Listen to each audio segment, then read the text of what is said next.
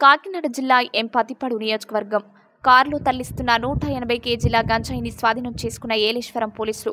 ముందస్తు సమాచారం మేరకు ఒరిస్సా రాష్ట్రం నుండి సీలేరు దారకొండ ఏజెన్సీ మీదుగా ఎర్రవరం హైవే మీదుగా భువనేశ్వర్కు గంజాయిని తరలిస్తున్నారని సమాచారం మేరకు ప్రతిపాడు సీఐకే కిషోర్ బాబు ఏలేశ్వరం ఎస్ఐ విద్యాసాగర్ తన సిబ్బంది మరియు ఏలేశ్వరం తహసీల్దార్ ఏ విశ్వనాథ్ శాస్త్రి సమక్షంలో వాహనాలు తనిఖీ చేస్తుండగా పది కారుల్లో ఇద్దరు వ్యక్తులు పృథ్వీరాజ్ త్రిపాఠి అమర్జిత్ మిశ్రా కలిసి నూట ఎనభై కేజీల గంజాయిని తరలిస్తున్నట్లు గుర్తించారు.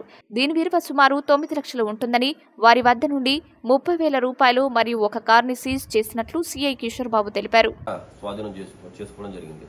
వీరు ముఖ్యంగా మనకి ఈ సీలేరవతల మల్కాజిగిర ఏరియాలో ఒరిస్సా రాష్ట్రం అది. అక్కడ నుంచి చీప్గా తక్కువ ధరకు ఈ యొక్క గంజాయిని అక్కడ పర్చేజ్ చేసి అక్కడ నుంచి దారకుండా అలాగే దారకొండ నుంచి పలకజీడి వరకు కూడా మోత మోయించినట్టుగా కాలినట్టుగా రప్పించినట్టుగా పలకజీడి నుంచి వీళ్ళు ఐడెంటి ఐ టెన్ కారులో వీళ్ళు లోడ్ చేయించుకుని ఈ నూట ఎనభై కేజీలను ఆరు బస్తాల్లో లోడ్ చేసుకుని ఈ యొక్క అడదేగుల మీదుగా ఎర్రవరం నేషనల్ హైవేకి అక్కడ నుంచి భువనేశ్వర్ వైపు వెళ్ళడానికి వీళ్ళు ప్లాన్ చేసుకోవడం జరిగింది. దాంట్లో భాగంగా ముందస్తు సమాచారం వరకు మనం ఈరోజు వీళ్ళని అరెస్ట్ చేసి ఈ యొక్క గంజాయిని సీజ్ చేయడం జరిగింది.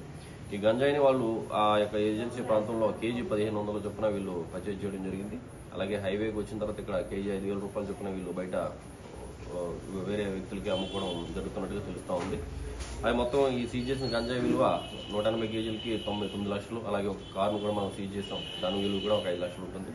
దీనికి సంబంధించి ముఖ్యంగా ఈ సప్లయర్ మనకి దారకొండ ఏరియాకి సంబంధించి ఒక నారాయణ అని చెప్పేసి అతని యొక్క పేరుని మనం దీంట్లో